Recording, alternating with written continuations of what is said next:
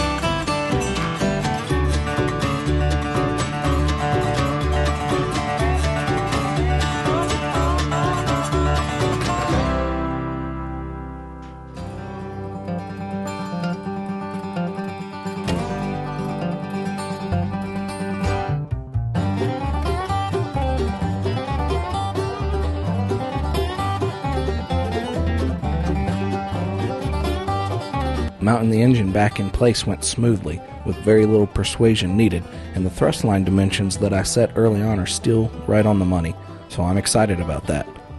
I'm still using temporary hardware for everything, since I know it'll come back off again as soon as I get every little tab welded on for all the other systems. I keep a running list of what hardware I need to find so that I know what to get when the time comes. The stock turbo support spanned the main engine mount tubes almost perfectly, so I decided to incorporate that in my design and utilize it. I suspect it serves as some kind of heat sink since it's a beefy cast piece,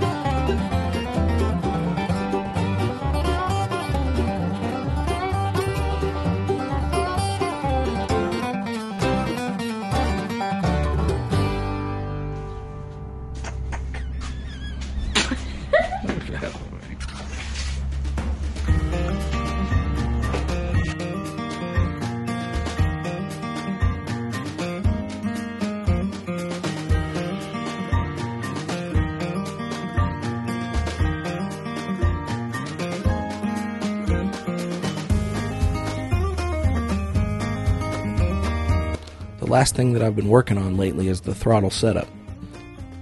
I needed to not only reverse it from pull to a push actuation, but also extend its travel about 3 to 1 to increase the resolution on the RPM settings a bit.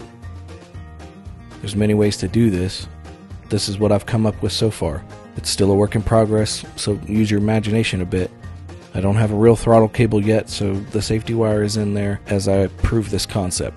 I made the base out of aluminum, and the bell crank is 304 stainless and rides on a pressed in bearing I feel like it's a pretty simple solution to a common problem when doing conversion engines like this. Overall, the visual progress this week has been outstanding, and I couldn't be happier with the outcome.